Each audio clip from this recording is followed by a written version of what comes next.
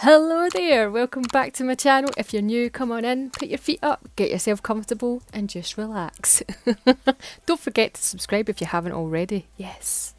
And you will be in on the madness that is my channel. Ah, oh, seriously. Anyway, so we have a wee black box from Madam Glam. There's a wee story that goes with this, which I'll get into just shortly, but let's just see what we have here. so this is the rubber base collection as you can see and they are beautiful. So I'm going to show you what their normal base coat looks like and it's just your standard base coat quite runny and consistency and does the job. And then this is Indonesia I'm sure and this is showing you just how thick these base coats are. Now I know it says rubber base coat but it isn't made from rubber. It's basically gel and it's somewhere between um, the standard base coat and builder in a bottle. So it's softer than builder in a bottle, but a bit more harder than um, the normal base coat. You can't build any nails with these. These are basically for the natural nail to give them a wee bit more strength, but flexibility with that strength. Um, you can also use, I'm going to show you how you can also use them in designs as well. I thought I might as well while we were here showing them. so it can give you some extra ideas on how you could use these because a lot of people would just think, right, that's a base coat, I can't do anything else with it. But there's there's a few things you can do. Yes. anyway, like I said, there's a wee story that goes with this. So I actually hadn't ordered these and Madam Glam hadn't sent them to me like they do sometimes. This was a, a complete accident because I had actually put in an order um, and the order went wrong. but I'm glad it happened because it has shown me as a customer just what they are like with customer service and how they um, are basically with their, their customers when something goes wrong. So yeah, it's it turned out really well and I'll get into explaining a bit more about that as we go along. This actually, this one here, I have to say, is probably my fave. It's my fave. I love it. Shh. so first off, we're going to use Indonesia, and I'm going to do two coats of that on the nail. Now, yes, I'm doing this on an extension, um, basically to show you the kind of art you can do with it. You could put it over the top of an extension for the background colour. Um, yeah, so I'm just going to... You could do this on natural nails as well. Um, I know I'm doing it on a long nail, but you can you can scale it down to fit a normal length nail. As usual, I'm great at explaining. So as I've done two coats of that, and then putting on a wee thin coat of base coat. I'm taking Snake Bite from Nail Sugar. I don't think I've used this one before. It's beautiful. so as you can see, the base coat is quite sheer, so I'm going to use it on the tip, and I'm going to do a glitter fade a wee glitter fade. So we're just going to take it, sprinkle it on and pat it in. It's very simple. So yes, yeah, so I, I hadn't ordered these like I said and it was an accident. But I am very, very impressed with them as a company because they did everything and more to fix this. And for me, it's really important that um, anything that I am sharing with you, I am confident in both their brand their um, customer service and their products. So yes, I'm I'm really really pleased with this. Um, getting back to this nail, I'm just wiping off in between.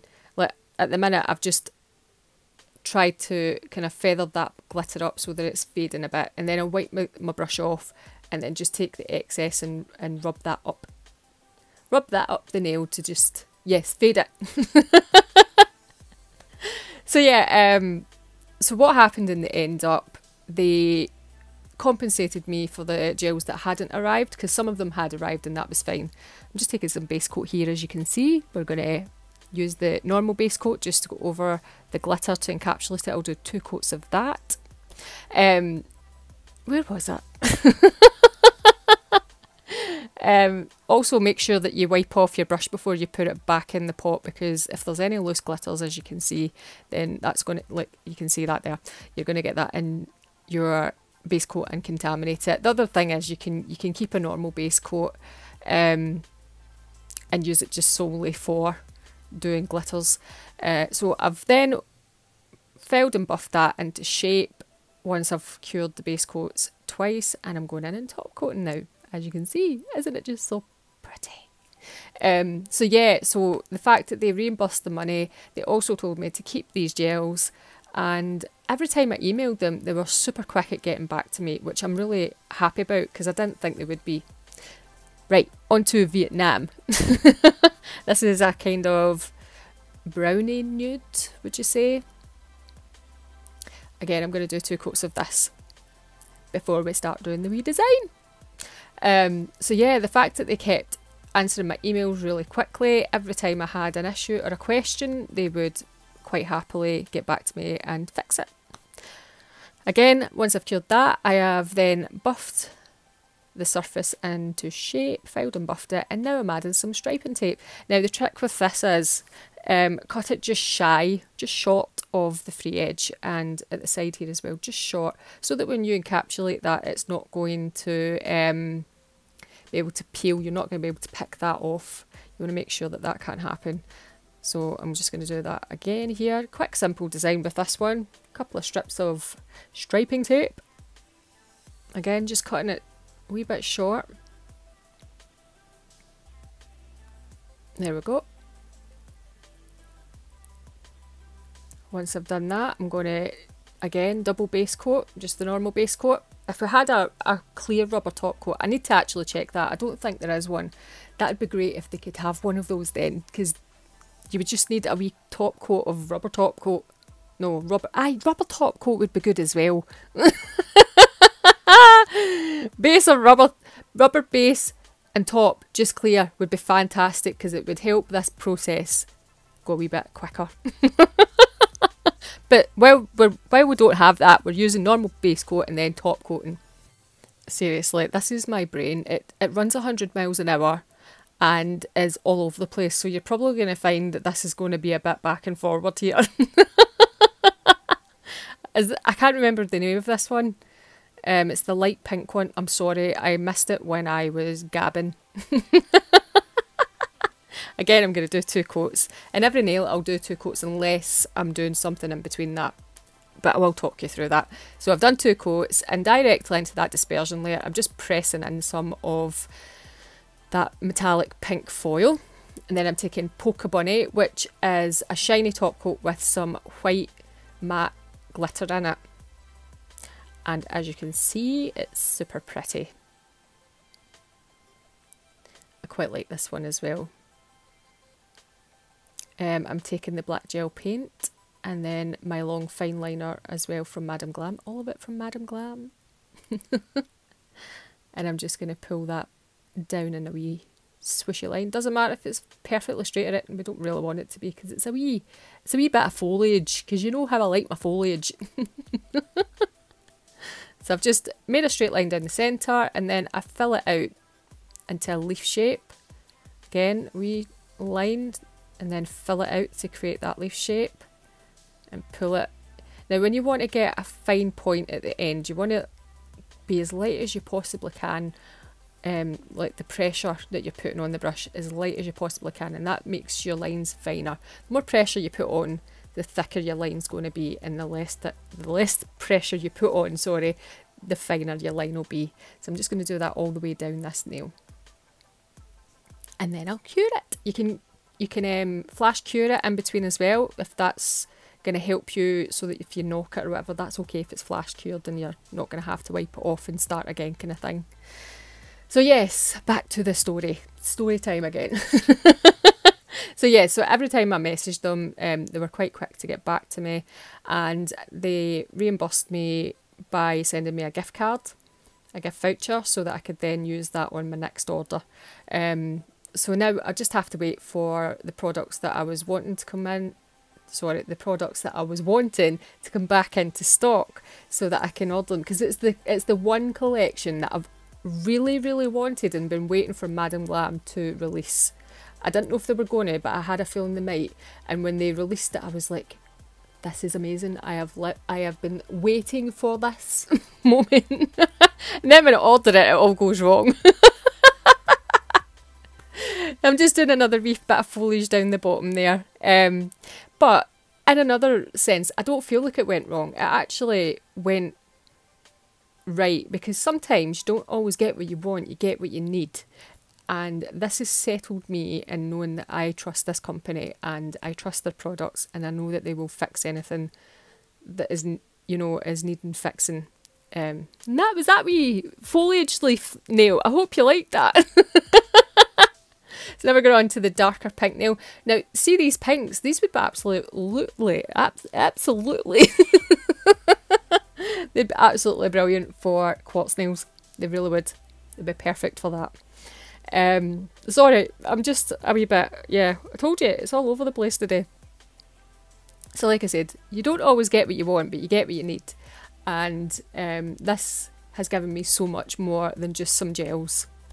We're using some Once Upon a Time. I love this glitter. It's full of iridescence and hollow and it's just beautiful. I'm sure there's some metallic in there as well.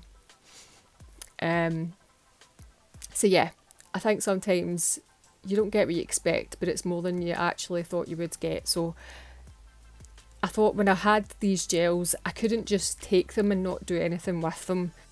Um, before I continue, as you can see, I'm doing a reverse fade. So this one is coming from the cuticle and going down the nail. Um, and I'm just going to do the same as I did on the other one, but just in the opposite direction. Um, so yeah, uh, for me, I want to put out something positive because a lot of the time these things can go wrong and don't have a good outcome. But in this experience, it has been really good. And I think that deserves recognition. Also, um, I think I kept in mind the fact that no matter if it's a big company or a small home run company, uh, things can go wrong, but it's how they they deal with that situation. If they do it in a way that is helpful for the customer, um, and if they resolve it in a polite and helpful manner, and I definitely found that with this. Um, so that's the main thing, you know, and just bear in mind that these things can happen. Uh, so yeah, that's that. I hope that's been a good wee TED talk today. I basically went round the world to tell you that my order came, it wasn't what I ordered completely, and that um, they fixed it. Reimbursed me and gave me these gels as well. So there, there we go. Oh, seriously. Anyway, we're on to Thailand because we are travelling the world with my wee story. Um, this is a Milky White. Uh, there's so much you can do with a Milky White. I love it. I love Milky Whites. Have I said that enough? Milky White. so here we've got Spot Me, which is the complete opposite to Polka Bunny. With Polka Bunny, if you want to have it matte, you would have to put it on, cure it, then give it a buff, and then shiny top. No, no, no. Matte top coat. Brain fart. and the same goes with the spot me. If you want to have it shiny, you just put it on, cure it, and then put you can put a a glossy top coat directly over the top of this because it's already matte. And I'm going in now and doing a wee swishy swish, wee swishy swish with this gold gel paint. This is the first time I'm using these gel paints and I have to say they go on like butter. very little of it goes a very long way. It is super pigmented and it doesn't go it's not too thick it's just the right consistency to get nice fine art and it doesn't have a tacky layer as well which is perfect so the likes of me doing this on top of this matte nail I don't need to go on and mattify or make it glossy or anything because it's it's not tacky so it's perfect I can have shiny on matte super easily with these gel paints does that make sense? I don't even know what I'm saying anymore. I have no idea. No idea what I'm saying anymore. so as I've, I've put those down, I wanted to give them a wee bit of definition because I felt like they were a wee bit lost there. So I'm using some of the black paint. And I'm just going to... I was going to just do it like that to begin with, but you'll see that I end up... I do end up joining it to the other side because I just wasn't I wasn't feeling it. I felt the black needed to be a bit more bold than the gold just to make the gold pop a bit more as well. So I'm doing half on one side and half on the other at the minute. Again, no rhyme or reason to any of this. When it comes to swishes, there are no rules. so as you can see here, I ended up joining both sides and I actually liked that better. And I just made this one a wee bit more bold as well. At one end I made it a bit thicker and thinner at the other. Like so. And then I'm going to do the same on here. I'm going to make it connect to the other side and thicken it up in areas.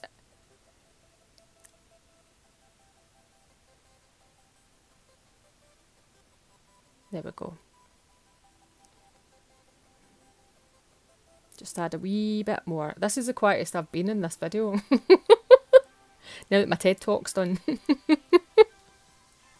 and there we go, that's the finished design. Super easy and quick. Right, Amazon, we are on to my fave. This is so beautiful. It has iridescence through it. It's quite a, a bright iridescence as well. It doesn't pick up as good on camera, but in person, it's such a, a vibrant pink iridescence. It's so pretty. It goes on nice and thin as well. It's not too thick that you can't use it. Um, so once I've done that, I have put down one coat cured it and I'm putting down another coat and not curing it. Um, and then straight into that I'm adding moonstone and cotton candy. This is moonstone at the minute, it's beautiful. I swear Karen, every time she brings in something new, it's like she levels up with the glitter. she levels up. She's in boss mode now. this is some cotton candy that I'm. As you can see, there's fine iridescence in there. There's chunky iridescence. There's some um, solid iridescent colours. It's just beautiful. So I'm I'm making sure that I'm not putting in too much. It's a nice thin even layer of that. So then I'm going back over it, making sure to work that gel in between those particles making sure to get down that side there. It's super important to make sure you work it in so you don't get any air bubbles. And then I'm just going to add another fine layer of that glitter in. I'm using the cotton candy for this because it's just a bit finer bits that I'm using. Like so, and I'm just going to add a wee tiny, tiny amount of just the the fine iridescence on the bits that don't have any glitter, like so. And again, I'm going to go in and just add another coat and make sure that I rub, I rub it in, I work it in those, those glitter particles. there we go.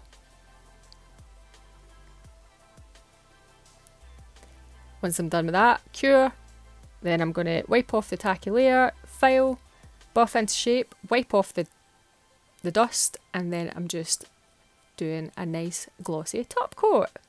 And that's six designs. Oh, wait a minute. No, that's not top coat. That's base coat. it's base coat because we're going to add some gold foil. I forgot about this. and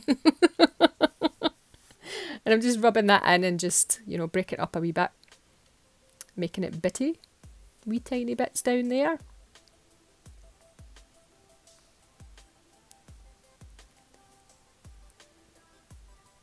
Once I'm happy with that, I will then go in and top coat. We're top coating now. So I hope that this video has actually shown you that you can do other things with base, the rubber base coats, because they have some colour to them. And there we go, it's a kind of opalescent type nail there. And now it's time for Scottish Word of the Week. Hello, welcome back to Scottish Word of the Week, and I'm a wee red squirrel this week, coming back for getting my messages. okay, let's get stuck in. So I'm going to give a wee shout out to the lovely Faye Is it? and they had recreated my marble nails from a few weeks ago. Thank you so much for tagging me in the Nail Sugar group. Honestly, I love seeing them. I love seeing your recreations. Also, I want to give a shout out to Redshift, and they said, How perfect for a Sunday morning. You, my coffee, and nail stuff. Couldn't ask for more. I agree with all the others, but me, maybe no. okay, let's get into the Scottish word of the week. So, the world says beetle, spider, fly, slug, and worm. but Scotland says beasties. it's the it's the universal word for any bug. There you go. I hope that's been helpful. And yeah, let me know what you want me to be next week, and I'll see you in the next one. See you later. I'm away home to put my messages away. Bye! it's not every day you see a wee, a wee squirrel pushing a trolley full of nuts, is it? anyway, this is the final results of what I created. I really hope that this has helped you um, and inspire you in what you could do with these. Thank you very much for watching, and also a thank you to Madam Glam for being just awesome and sorting out my wee dilemma. anyway, I hope to see you all next week. Stay creative and don't forget to like and subscribe. Bye!